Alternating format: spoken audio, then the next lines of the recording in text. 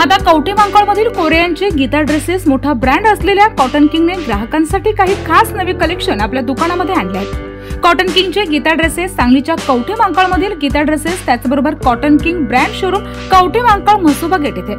Dresses cotton king brand showroom असून एकदा भेट द्या मनपसंत खरेदी करा.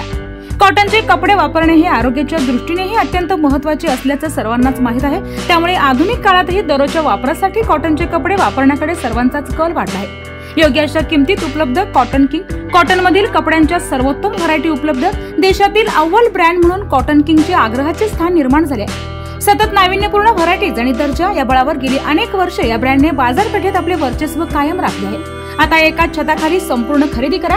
एकदा अवश्य भेट द्या. कवठे मांकाळमधील कोरे यांचे गीता ड्रेसेसला संपर्क सुधीर कोरे रोहन कोरे कुणाल कोरे यांच्याशी अधिक माहितीसाठी संपर्क साधावा. मोबाईल नंबर चौऱ्याऐंशी बत्तीस तेवीस शून्य तीन शून्य शून्य किंवा सत्याहत्तर शहाण्णव बावीस वीस तीस किंवा अठ्याहत्तर ऐंशी शून्य एक वीस तीस. सी के मराठीमध्ये आपलं स्वागत आहे. C K Marathi.